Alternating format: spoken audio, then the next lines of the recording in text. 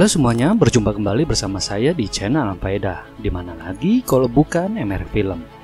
Nah, kali ini saya ingin menceritakan sebuah kisah klasik yang selalu menarik jika dibuat menjadi film. Judul filmnya Nobody, tahun 2021. Dalam film ini ceritakan ada seorang agen khusus rahasia yang telah pensiun dalam pekerjaannya. Hingga suatu saat ada kejadian yang membuat gairah membunuhnya bangkit kembali. Insting predatornya muncul kembali dan siap membantai para mafia yang menyenggolnya. Sengbak atau senggol tembak menjadi adegan biasa dalam film ini. Garis besarnya, film ini memang satu grup dengan John Wick.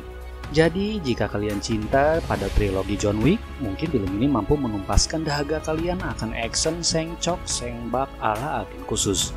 Bagaimana filmnya? Langsung aja kuy, gua mulai alur ceritanya. Me, um, nobody.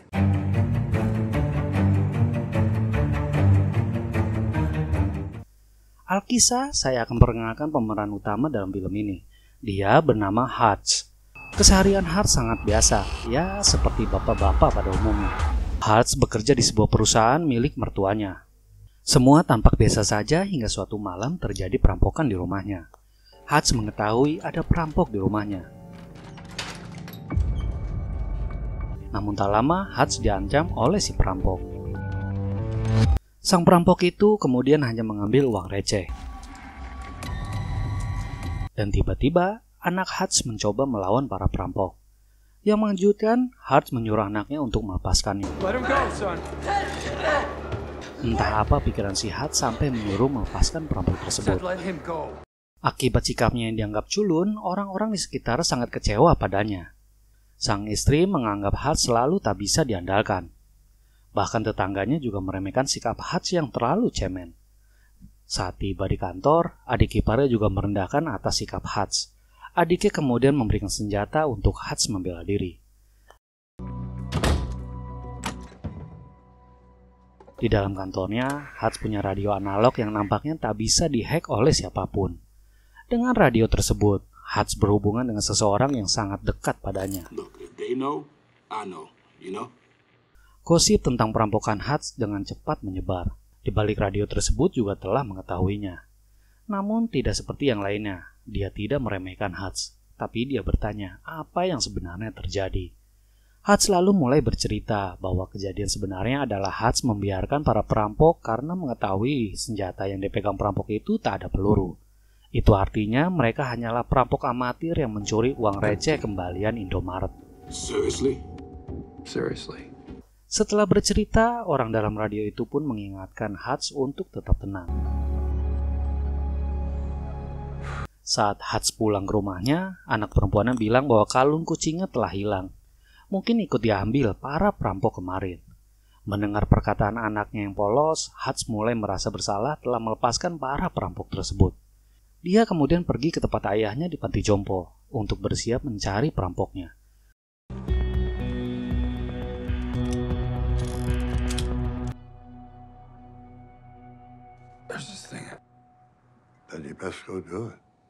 Setelahnya, Hutch mulai datangi para pembuat tato di kota untuk bertanya siapa pemilik tato tersebut.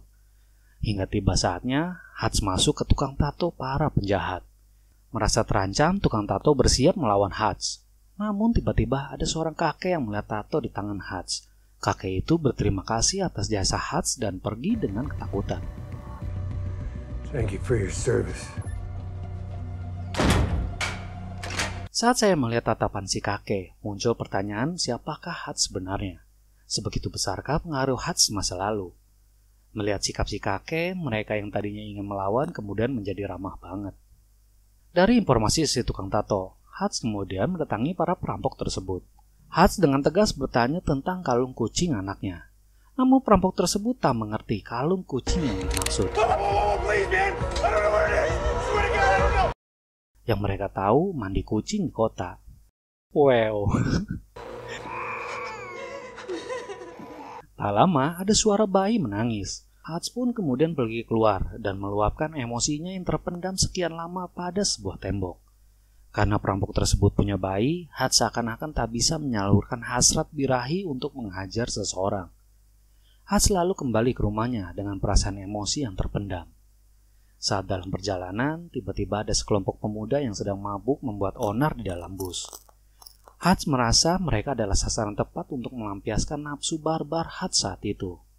Hutch menutup pintu bus dan membuang isi senjatanya. Dan pesta pun dimulai. I'm gonna fuck you up.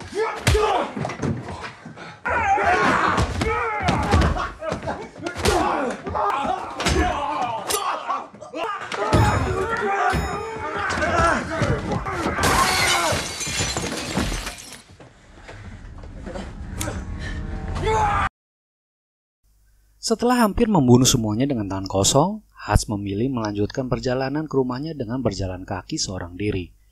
Begitu sampai di rumah, istrinya melihat luka-luka pada tubuh Hutch.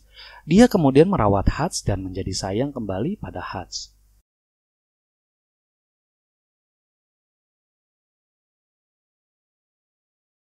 Oke, sampai di sini ceritanya gua geser sedikit ke seorang mafia Rusia bernama Yulian. Yuli adalah seorang mafia yang punya peran penting mengawasi keamanan lembaga keuangan OPSAK. Tidak dijelaskan apakah OPSAK ini kartel atau lembaga money laundry elit-elit Rusia. Yang jelas, OPSAK punya peran penting di seluruh kelompok mafia. Berat banget kan kerjaannya? Tapi coba lihat kelakuannya. Nah, karena kelakuannya, Yulian ditegur oleh kliennya. Merasa takut kehilangan kliennya, Yulian lalu membunuh seseorang di dalam bar tanpa rasa bersalah.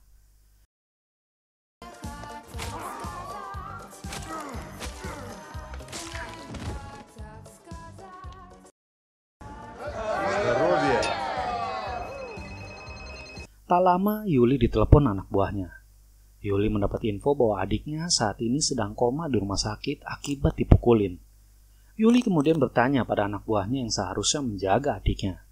Namun mereka semua mengaku dipukul oleh satu orang tak dikenal. Dan ternyata orang tersebut adalah Hutch. Namanya mafia pasti balas dendam dong. How can I find this man? Yuli kemudian diberikan kartu debit milik Hutch. Kembali pada Hutch, berita kemarahan Yuli sudah tersebar ke seluruh mafia-mafia elit di sana.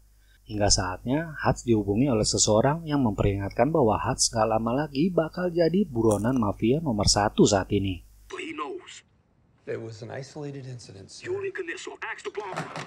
Merasa tak bersalah, Hutch kemudian mendatangi mantan bosnya di sebuah tukang cukur asli Garut. Mantan bosnya sudah menduga bahwa Hutch akan mencari tahu soal Yuli. Karena ini seperti rantai yang tak pernah putus. Maksudnya, jika ada kejadian pembunuhan, ya pelakunya pasti kita-kita aja. Di sisi lain, anak buah Yuli terus mencari tahu dari data kartu debit milik Hutch. Namun semuanya nampak biasa-biasa saja. Hutch bukan gangster, mafia, bahkan ahli kungfu. Anak buahnya kemudian mencoba tanya seseorang di Pentagon, siapa Hutch sebenarnya. Agen di Pentagon tak bisa menemukan database Hutch di komputer. Dia kemudian menyelidiki berkas-berkas top secret yang selama ini disembunyikan. Dan ternyata ada informasi Hutch di Pentagon yang disembunyikan.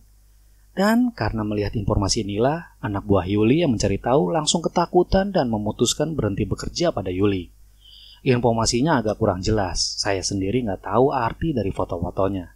Yang jelas ini mempertebal pertanyaan saya, siapa Hutch sebenarnya? Apakah anggota Avenger? Ataukah bagian dari Justice League? Atau sebenarnya Hutch satu lintingan dengan James Bond? Kira-kira mana yang benar? Begitu mengetahui siapa yang menghajar adiknya, Yuli langsung menyuruh anak buahnya menangkapnya. Di tempat berbeda, Hutch sedang makan malam bersama keluarganya. Mengetahui ada mafia yang datang, Hutch lalu memasukkan keluarganya ke ruang basement dengan keamanan yang canggih. Right now. Let's go. Move. What? Move. Dad, what? Yes, is this a game, Hutch? I like games.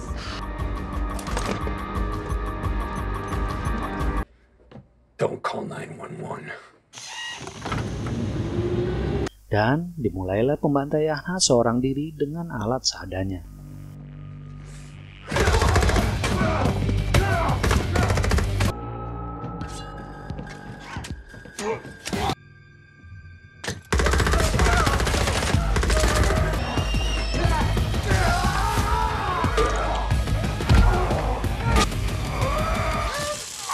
Hingga saatnya, Hutch berhasil dilumpuhkan dari belakang.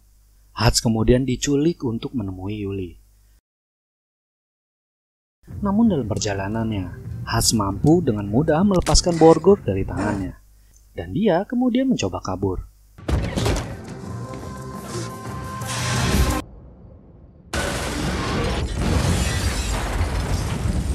Setelah mobilnya terguling, Hats kemudian kembali ke rumahnya untuk menyelamatkan keluarganya. Setelah ganti baju, Hats kemudian menggiring keluarganya pergi dari rumah untuk sementara.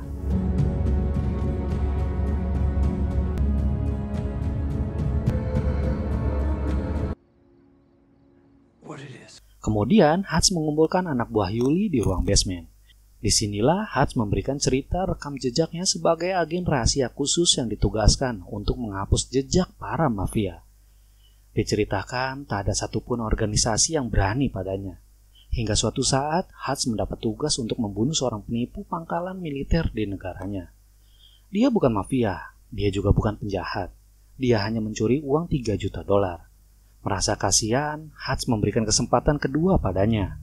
Satu tahun kemudian, Hats melihat buronannya pindah ke wilayah terpencil dan hidup bahagia dengan keluarga kecilnya.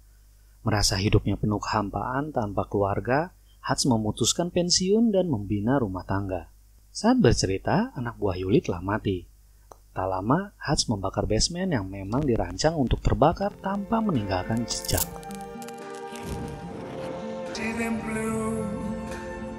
Setelahnya, Hats menghubungi ayahnya agar berhati-hati saat ini.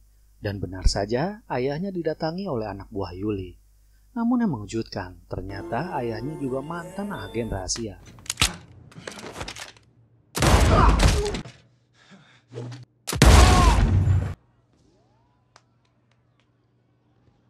Hats kemudian membawa emas simpanannya hasil dia bekerja sebagai agen rahasia. Emas itu dia tawarkan pada mertuanya agar mau menjual pabrik miliknya. Mertuanya kemudian deal dengan Hats, walaupun adik iparnya tak setuju pabrik itu dijual.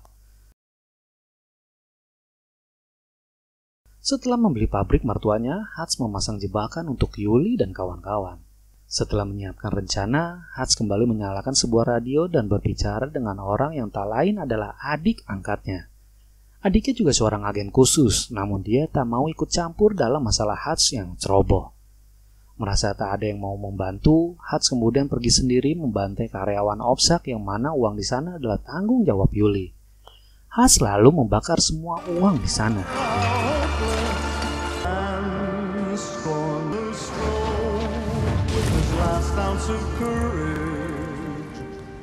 Namun Hats bukannya kabur, malah mendatangi markas Yuli di bar. Dengan bom di tangan, Hats menasihati Yuli agar segera bertobat dan ikut pengajian rutin.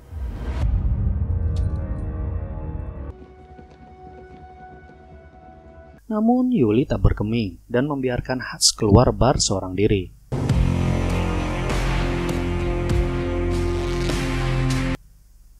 Sebenarnya bukan tobat yang Hats inginkan dari Yuli, melainkan mengajak perang dengan halus. Yuli pun terbawa suasana dan ikut ke dalam permainan Hats. Mereka lalu terlibat kejar-kejaran dan saling tembak dengan sengit.